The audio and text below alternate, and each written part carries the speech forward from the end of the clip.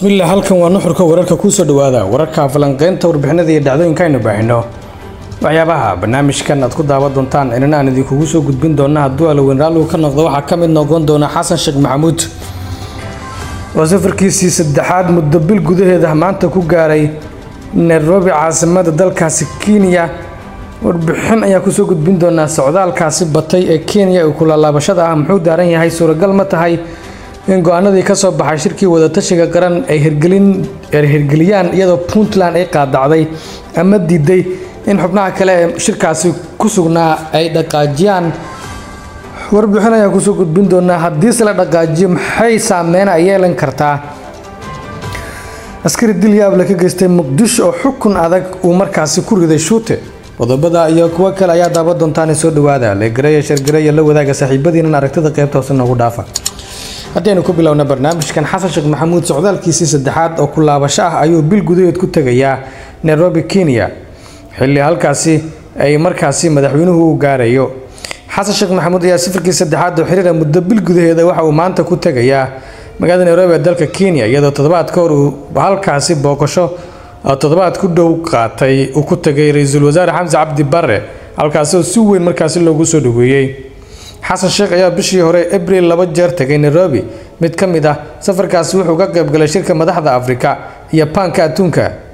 Safarka maanta ayaa la sheegay inuu yahay mid madaxda kenya iyo soomaaliya ay ku xoojinayaan isbahaysigooda dhanka gobolka waxaana arrimaha gaarka ah ay ka wada hadlayaan mid ka mid ah booqashada rasmiga ee madaxweynaha kenya william samau ruto uu saddexlaatanka bishan may ku tagayo dalka mareykanka kadib martiqaad rasmi ah uu ka helay madaxweynaha mareykanka ja baden. Waxaa la fahamsan yahay in nairobi ama xukuumadda nairobi ay dhexdhexaadin door ah markaasi ay ka qaadanayso arrimaha la xiriira soomaaliya iyo sidoo kale ethoobiya oo ay markaasi soo dhawaanshiyo u sameynayso.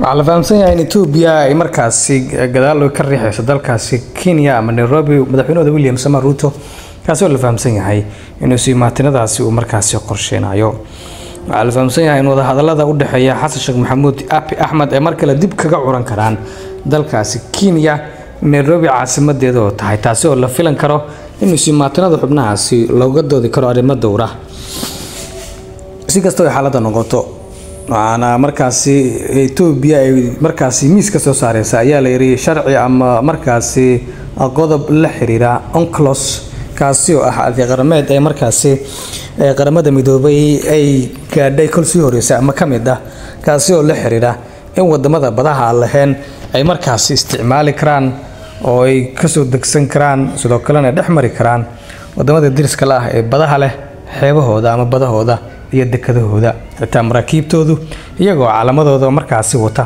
in ay dhex mari karaan badaha ama dekadaha ay ku xiran karaan qodobkaasi ayaa la sheegaya in etoobiya ay markaasi soo heshay oo ay markaasi doonayso in ay kula fadhiisato dowladda federaalk ee soomaaliya. Balse waxaanu eegi doonaa tallaabooyinka miiska gorfeynta ee wadahadalka ay ku gaaraan xasan samaaw iyo sidoo kale xubnaha daasoon ee miiska hoostiisa ku jira.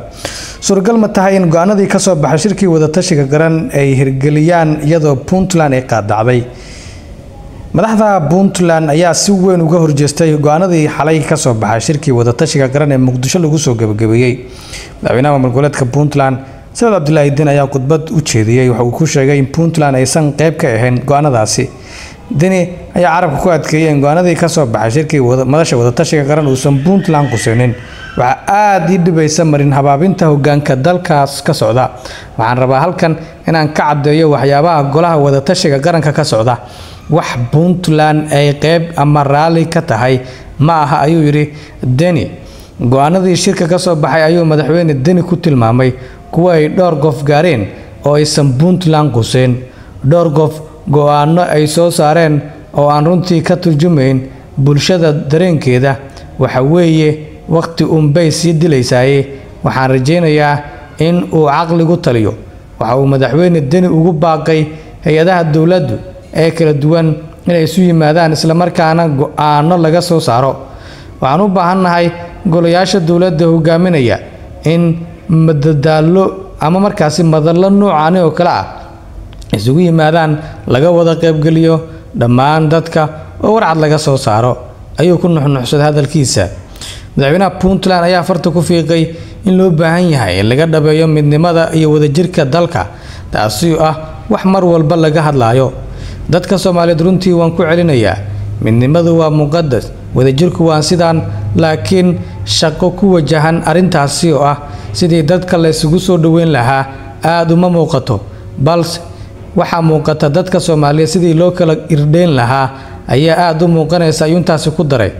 Madaxweyne deni wuxuu in maamulkiisu uu ka shaqeyn doono sidii loo sii xoojin lahaa midnimada puntland isla markaana looga shaqeyn lahaa danta guud ee dalka puntland waxaa alle haddii uu idmo ballan u ah ninkii tiisa daryeelaa atu kale ku daree la yidhaahe in midnimada iyo wadajirka puntland la adkeeyo oo hadafka koowaad noqdo.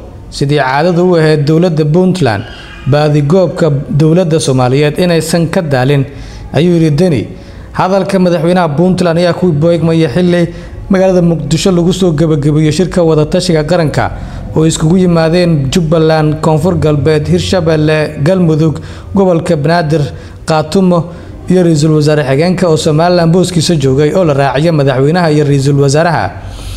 Si kasta ay xaaladda noqoto hadalka madaxweynaha puntland ayaana ku soo beegmayaa xili kulankaasi la soo gebagabeeyey warmurtideedkii ka soo baxay shirka. Ayaa lagu sheegay in intii uu shirku uu socday la faaqiday arrimo badan oo ay ka mid yihiin amniga siyaasadda iyo shuruucda dalka waxaa sidoo kale sida warmurtideedka lagu xusay ee golaha wadatashiga qaranka bogaadiyeen ansixinta barnaamijka waa baarlamaanka federaalka ay ansixiyeen afarta cutub ee dastuurka ee qodobadiisa koowaad labaad saddexaad iyo afraad. Intii uu shirku socday waxaa sidoo kale warbixino laga dhageystay hogaamiyaha maamulka kumeelgaarka ee kaatumo oo ka warbixiyay xaalada deegaanadaasi oo dhowaan dagaal ay kala gashay somalilan ka soo baxday. Shirkan kama aysan soo qaybgelin puntland oo muddooyinkii dambe uu khilaafku kala dhexeeyo dowladda federaalka haddaba hirgelinta heshiiska gobollada qaar ayaa ka digaya in uu hirgeli waayo qodobada laga soo saaray shirka wadatashiga qaran. Waxaa ku xusan warmuurtideedka shalay ka soo baxay in la dardargeliyo dhaqangelinta heshiisyadii hore ee madashu ay gaareen. Maxamed mukhtaar ibraahim oo ka faalooda arrimaha siyaasadda soomaaliya ayaa sheegay in warmurtideedka sida ka muuqata aan la hirgelin waxyaabihii horey loogu heshiiyey go'aanka laftarkiisu ka soo baxay.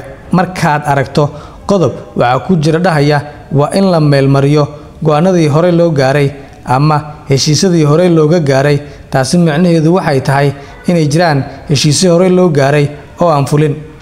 Master mukhtaar ayaa intaa ku daray in loo baahan yahay in madaxda ay markaasi badiyaan kulamadooda si xal looga gaaro arrimo badan oo weli taagan lana fuliyo waxyaabaha lagu heshiiyey. Waxa ugu muhiimsan waxay tahay in kulankooda ay badiyaan midda labaad in wixii lagu heshiiyey la meelmariyo ayuu intaasi ku daray waxa uu intaasi ku daray in muhiimay tahay in puntland la raadiyo si ay go'aanadooda qeyb uga noqdaan. Waa in laga shaqeeyaa sidii puntland qeyb markaasi kaga noqon lahayd go'aamada masiiriga ee dalka looga gaarayo. Arrimahaasi ayaa markaasi u muhiimsan ayuu yidhi. Dad badan ayaa markaasi fahamsan in go'aanadan la meelmarin doono puntland oo weli cariisan maadaama puntland iyo saciid ba ay iminka dagaal horle diyaar u yihiin maadaama saciid uu dhowaan markaasi ku guuleystay doorashada in dib ugu soo laabto. Taasi waxay ku ahayd dharbaaxo xoogan villa soomaaliya sida dadka qaar ay leeyihiin maxkamadda ciidamada qalabka sida ee soomaaliya xukun adag ku riday daa-uud bashiir colow oo ka tirsan guutada labaatan iyo ururka saddexaad ee abudujaana kaasi oo dil ka geystay timojare ku yaalla muqdisho. Maxkamadda ayaa ninkan ku heshay dilka allah u naxariistay marxuum sacad cabdi muuse kaas oo dhacay saddexdii bishii afraad ee sanadan dilka ayaa yimid kadib muran ka dhashay dhinaca kale horeynta timojaraha sida ay sheegtay maxkamadda ciidamada oo soo gabagabaysay kiiska ninkan. Daa-uud ayaa la xukumay dil toogasho oo ah qisaasta marxuumka markaasi uu dilay. Sida warbaahinta u sheegay garsoore gaashaanle sare xasan cali nuurshuute gudoomiyaha maxkamadda darajada koowaad ee ciidamada qalabka sida. Si kasta oo ay xaaladda noqoto dilkaasi toogashada ah ayaana markaasi lagu xukumay daa-uud saddexdii bishii afraad ee sanadkan labadakunaflaatanka ayay ahayd markii muran uu dhinaca kale horeynta tinta ah uu geeriyooday sacad cabdi muuse. Todobada bishan shanaad ee sanadkan labadakunaflaatanka maxkamadda darajada koowaad ee ciidamada qalabka sida ayaa dhigaysatay kiiskan oo waqti ku filan siisa dhinacyada in ay markaasi ka doodaan. Waxaana ay ku xukuntay dil toogasho ah dable daawuud bashiir colow dil toogasho ah waa qisaasta marxuum sacad cabdi muuse. Intaa ayaa ku dhaafnaa barnaamijkan. Hilmaam inaad le gareeso sheer oo aad la wadaagta saaxiibadaadana qaybta hoose iyo aragtida aad noogu dhaafto daawade. Nabadino